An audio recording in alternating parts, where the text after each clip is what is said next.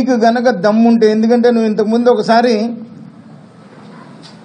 చంద్రబాబు నాయుడు ఒక మాట అన్నావు. ఎందుకంటే ఆ మాట నేను అనటానికి నాకు సంస్కారం అడ్డం వస్తుంది.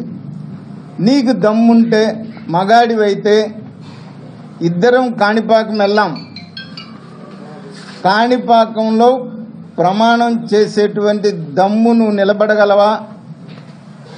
లేకపోతే పిచ్చి పిచ్చి మాటలు మాట్లాడొద్దని చెప్పేసి నేను విజయసాయి రెడ్డికి చెబుతున్నాను. ఒక మాట మాట్లాడేటప్పుడు అధికారం మదంతో ఒళ్ళు దగ్గర పెట్టుకొని మాట్లాడమని చెబుతాను. అధికారాలు ఏం శాశ్వతం కాదు. చాలా మందిని చూశాను నేను. మీ అధికారం మదంతో కళ్ళు పైకెక్కి మీ ఇష్టం వచ్చినట్టు పిచ్చి మాటలు మాట్లాడితే మర్యాద ఉండదని కూడా నేను చెప్తా ఉన్నాను విజయసాయి రెడ్డికి.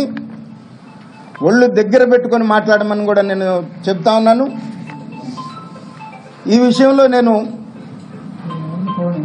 Criminal defamation suit వేయబోతున్నాను. మీరు మాట్లాడేటప్పుడు ఒళ్ళు దగ్గర పెట్టుకొని మాట్లాడమని చెప్పేసి విజయసాయి రెడ్డికి నేను చెబుతా ఉన్నాను. నువ్వా నా గురించి మాట్లాడేది?